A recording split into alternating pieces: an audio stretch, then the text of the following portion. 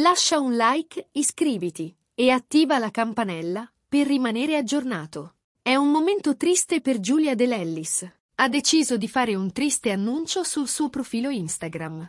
La donna, infatti, è stata colpita da un dolorosissimo lutto mentre non si trovava a casa ma bensì in vacanza.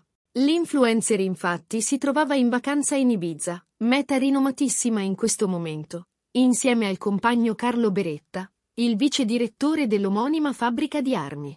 I due si sono conosciuti per lavoro ed è stato proprio Andrea Damante a presentarglielo. Un rapporto di amicizia che si è trasformato in un amore unico. L'influencer ha trascorso una vacanza paradisiaca insieme al fidanzato almeno fino a poche ore fa quando è arrivato il triste annuncio. Nelle ultime ore la donna ha aggiornato i fan annunciando la morte del suo cagnolino Tommaso. Il cucciolo di razza Spitz di Pomerania aveva da poco compiuto tre anni ed aveva già dei gravi problemi di salute come annunciato da Giulia Dell'Ellis. Tommaso era finito sotto ferri per un'importante operazione chirurgica che era stata annunciata dalla padrona. Un intervento che era riuscito ma che purtroppo non ha arginato il problema di salute del cane che in queste ore è deceduto presso la clinica.